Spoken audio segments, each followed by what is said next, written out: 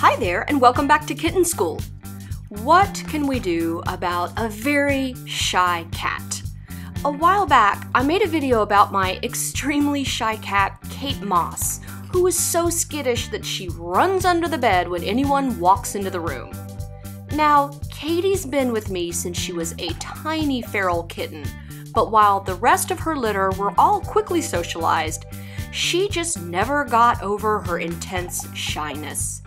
Katie spends most of her time on or under the bed in our guest room, but she loves to eat, and so she'll usually venture out when it's dinner time just to make sure she's not forgotten. Sometimes she'll allow one of us to pet her, but after a moment she quickly bolts away. It's like she'll forget for a few seconds to be scared, but then it always comes right back. I think Katie does want affection, but she has a very strong fear reflex, which is something all cats instinctually have as a survival mechanism. Katie is now almost 15 years old, and while age has mellowed her some, she's still very shy. She has a great life. She gets along well with the other cats, but I've always felt bad that she's just so nervous. I recently read about the use of CBD oil being used to help calm nervous cats, so I thought I'd give it a try and see if it might help Kate Moss.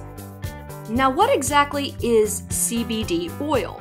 Well, it's an oil made from the flowers and leaves of the hemp plant, which is a cousin of the marijuana plant. Unlike marijuana, hemp lacks the THC compound that makes you stoned, but it does have other compounds called phytocannabinoids, which some have claimed can heal all kinds of ailments from depression to inflammation to even epilepsy. I even take it myself sometimes when I'm feeling like I need to relax a little, and it does help. But whether this supposed miracle oil would make any difference in Katie's anxiety would remain to be seen. I decided to try two different brands of CBD oil formulated for cats. This one by Pet Relief and this one by Bluebird. Each dose contains about 3 to 4% CBD oil, and it can be mixed into the cat's food.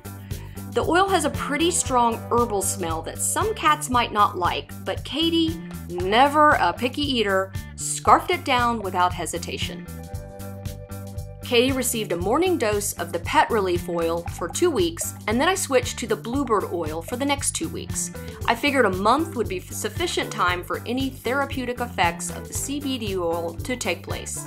And so, did the CBD oil turn my achingly shy wallflower kitty into a high strutting, attention seeking party cat?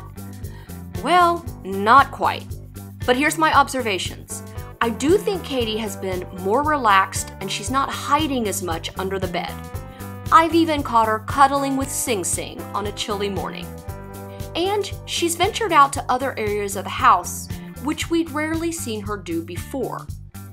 As for her interactions with us, I think she's a little bit more tolerant of being petted.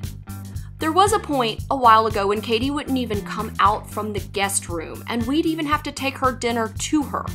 Now, she's usually right under my feet, meowing the whole time when I'm preparing food. In addition to the increased relaxation, I've also noticed some positive physical changes since Katie started taking the oil, such as the improvement in her fur, which has always been a little rough and scraggly, probably because she won't allow me to brush her. After a month of the CBD oil, her coat looks thicker and more lustrous, though I really wish she'd let me comb out some of that loose fur.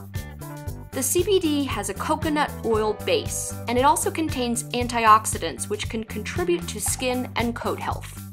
So, what are my conclusions after Kate Moss's month of CBD oil? Well, while I think it's helped to take an edge off her nervousness, she's still a very shy, skittish cat and won't allow us to get too much closer to her than she did before. But I do think she's calmer and happier in her daily life, and she's interacting more with our other cats. So for now, I will continue giving Katie the CBD oil. But these oils are not cheap. They run between 30 and $70 per bottle. So I'm only going to use them if I continue to see benefits. while CBD oil has shown promise in some studies, it is not an FDA regulated supplement, and more research is needed to confirm its effectiveness. There is a lot of hype out there for pet supplements, which generate billions of dollars in sales, so I can be kind of skeptical about miracle oils or herbs when there's just not a lot of scientific study to back up the big claims. There's also a lot of low quality CBD oils that are being sold and contain few of the beneficial compounds at all, so be sure to buy from a reputable CBD company. It won't hurt to try CBD oil for your anxious cat, and perhaps it really can help.